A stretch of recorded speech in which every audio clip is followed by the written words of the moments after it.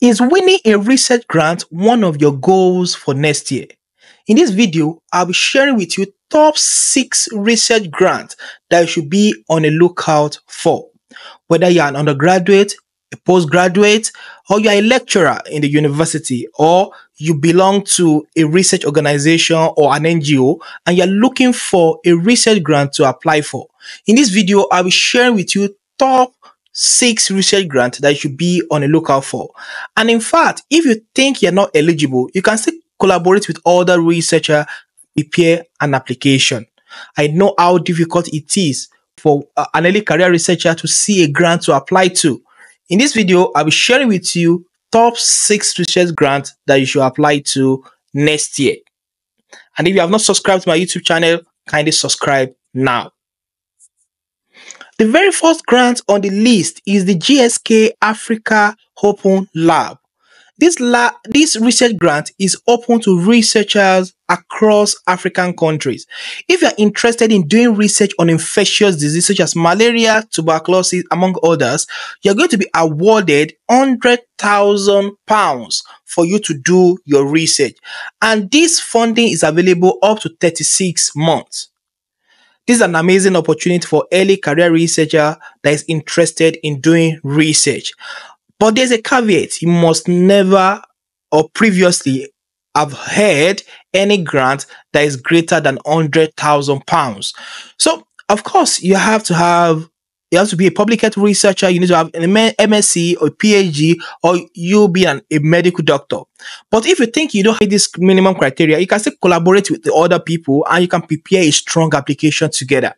I will encourage you if you're interested in infectious disease and you're based in sub-Saharan Africa, you're based in Africa, I will urge you to apply for this funding. It is worth 100,000 pounds up to 36 months and you have the opportunity to do research in different areas such as malaria, tuberculosis, antimicrobial resistance, enteric disease, neglected tropical disease, among others.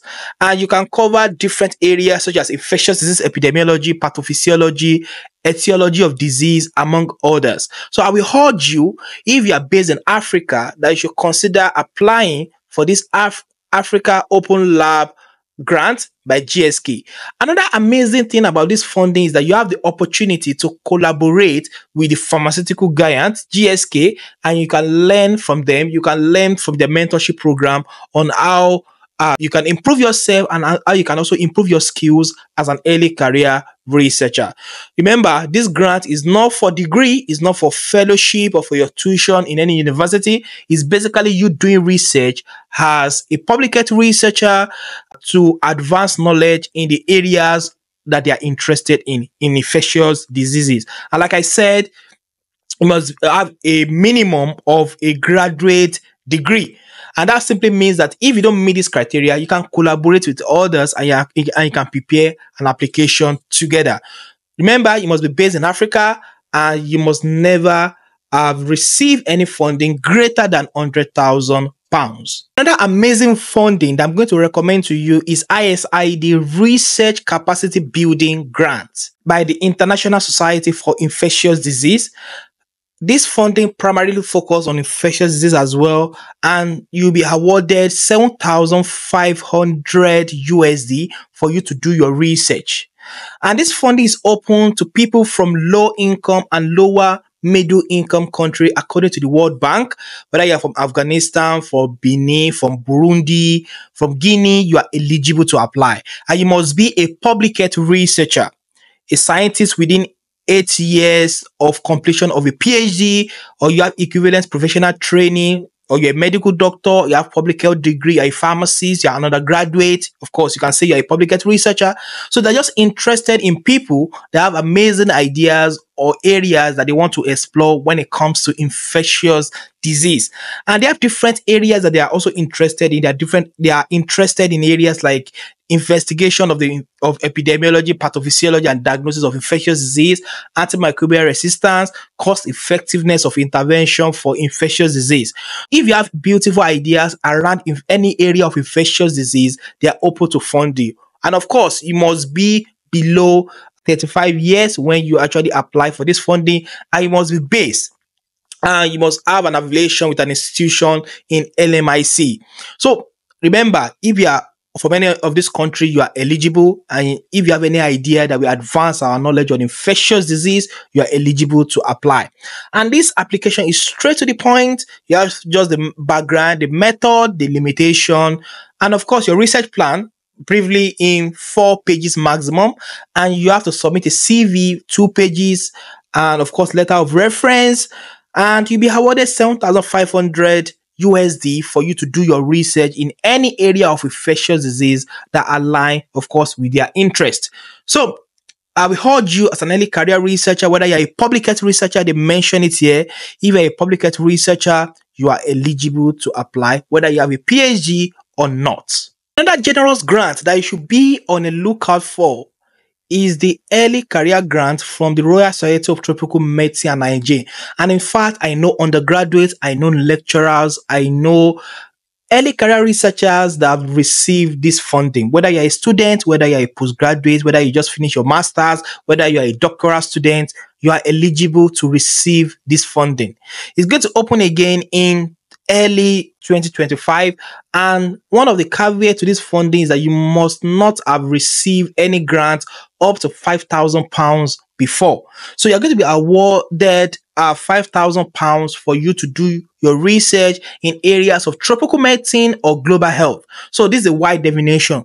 So you have to propose something that is doable within that budget uh, in the areas of tropical medicine, infectious disease, non-communicable disease, uh, global health in general. You are free to propose any uh, that can be completed with just 5,000 pounds. And this grant is open to anyone, whether you're in Asia, whether you're in, in Africa, uh, whether you're in low and middle income country. So this funding is open to quite a number of early career researchers across different countries.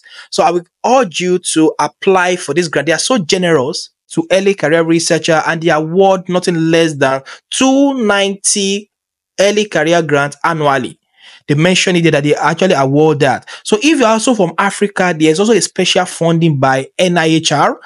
Uh, or if you're from lower middle income country, there's another one with NIHR UK uh, in partnership with the Royal Center of Tropical Medicine and Hygiene that they award quite a lot of funding. And you can see around 230 were awarded last year. So they also have a number of partners. So they have different projects. They are so generous with funding and I will urge you to actually prepare an application.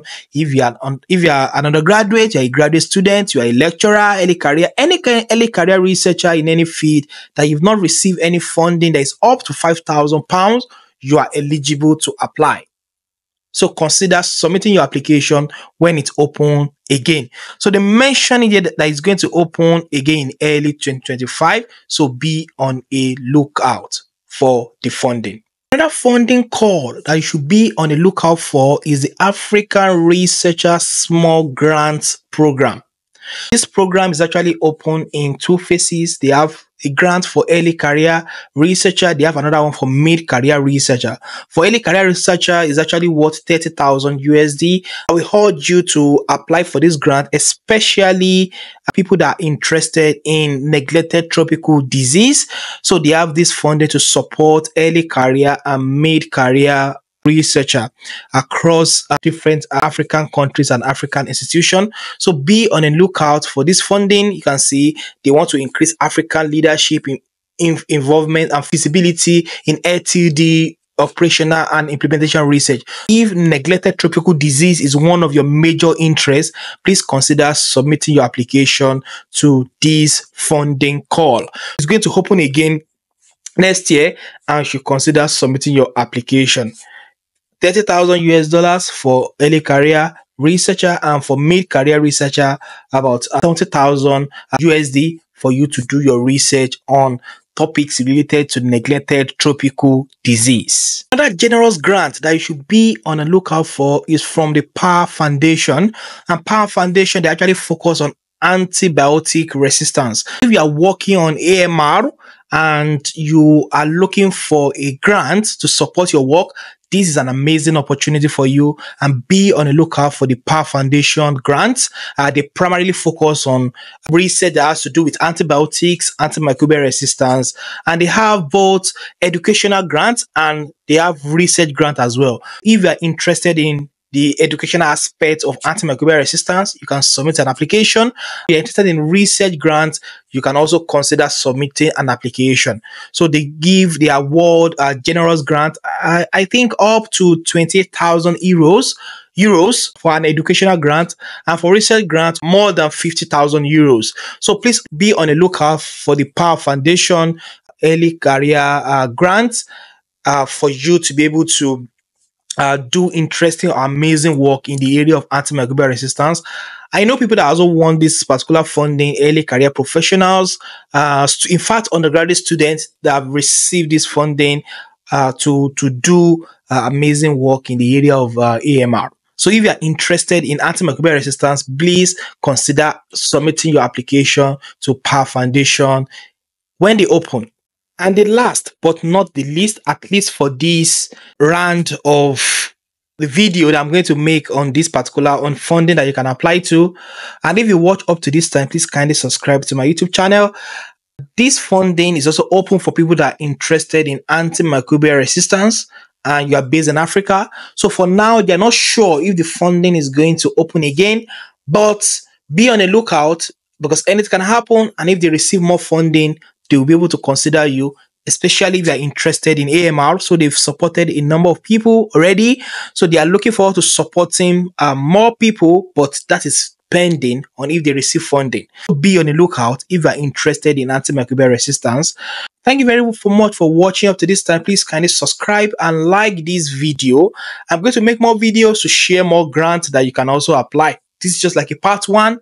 Uh, I wish you all the best in achieving your goal. Bye.